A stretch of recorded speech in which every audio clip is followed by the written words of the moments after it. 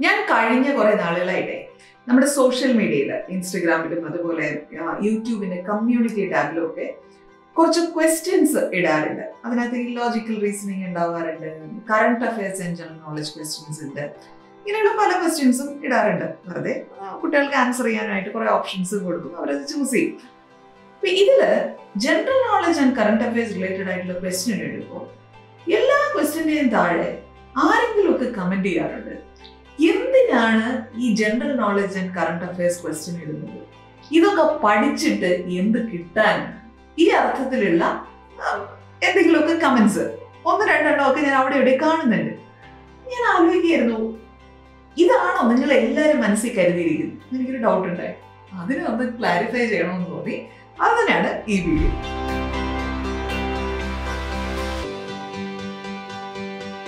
ഈ general knowledge and current affairs ഒക്കെ പഠിച്ചിട്ട് എന്ത് ചെയ്യാനാ എന്ന് നിങ്ങൾ ഒരിക്കലും ചോദിക്കരുത്.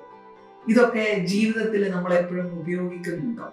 ഒരുപക്ഷെ നിത്യജീവിതത്തിൽ എന്നും നിങ്ങൾ ഈ ചോദ്യങ്ങളുടെ ഉത്തരങ്ങളൊന്നും പഠിച്ച് പറയേണ്ട ആവശ്യമൊന്നുമില്ല. അതൊക്കെ ശരിയാണ്. പിന്നെ ചിലർ എഴുതാറുള്ളത് ഏത് ജോബിന്റെ ഇന്റർവ്യൂവിലാണ് ഇപ്പോ ഇങ്ങനെയുള്ള ക്വസ്റ്റ്യൻസ് ചോദിക്കുന്നത്? അതും വാസ്തവമാണ്. സമ്മതിച്ചു.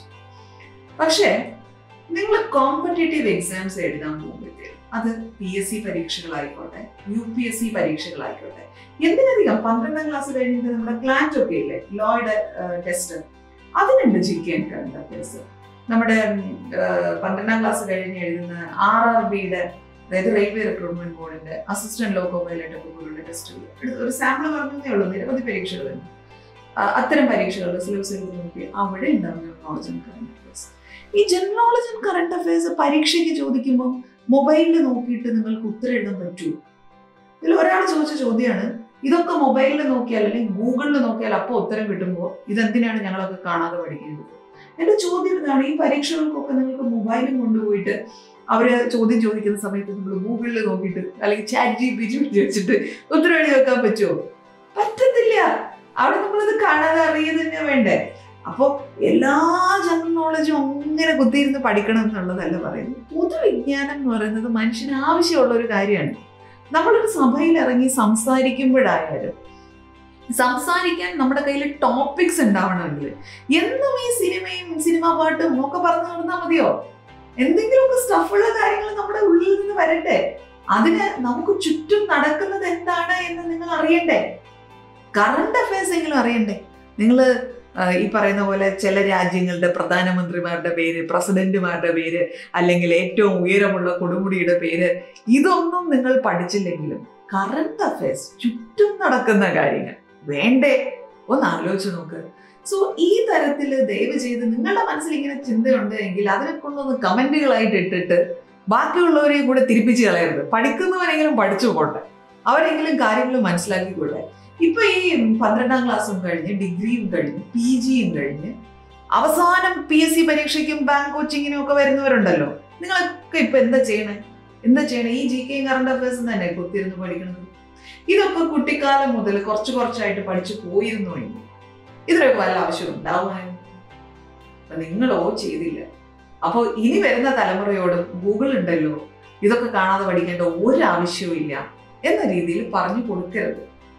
പഠിക്കാൻ താല്പര്യമുള്ളവർ പഠിക്കട്ടെ. അല്ലെങ്കിൽ ഈ കാര്യം മനസ്സിലാകാത്തത് കൊണ്ട് മാത്രം ഞങ്ങൾക്ക് ഗൂഗിൾ ഉണ്ടല്ലോ എന്ന് വിചാരിച്ച് മാറിയിരിക്കുന്ന ഒരു വിഭാഗം ആൾക്കാരുണ്ടല്ലോ.